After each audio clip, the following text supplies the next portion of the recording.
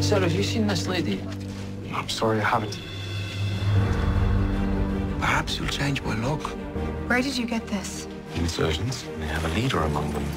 Murtagh Fitzgibbons. Let's take our money back. I must go warn Murtagh. Will you keep him occupied. I'll buy you as much time as I can. Do you know where I might be able to buy passage to Cross Creek? I'd like to leave tomorrow.